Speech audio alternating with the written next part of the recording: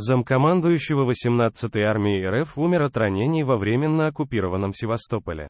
В госпитале временно оккупированного Севастополя умер заместитель командующего 18-й армией РФ полковник Магомедали Магомеджанов.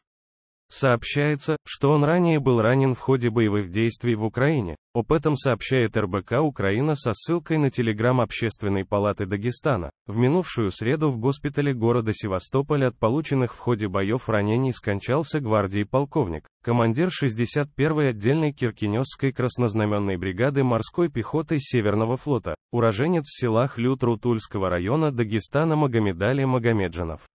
Он занимал должность замкомандующего 18-й армии, говорится в сообщении Общественной палаты, отмечается, что Магомеджанов участвовал в четырех операциях.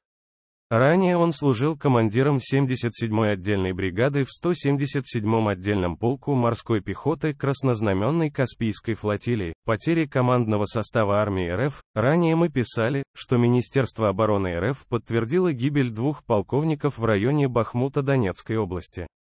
В частности, там рассказали, что командиры были убиты на поле боя в Донецкой области возле Бахмута. При этом не уточнили, когда именно это произошло, речь идет о командире 4-й мотострелковой бригады ВСРФ, полковнике Вячеславе Макарове, и полковнике Евгении Бровко, заместителе командира армейского корпуса по военно-политической работе. Кроме того, 25 сентября прошлого года в результате удара по штабу Черноморского флота РФ в оккупированном Севастополе погибли 34 офицера противника, среди них командующий ЧФ РФ Соколов.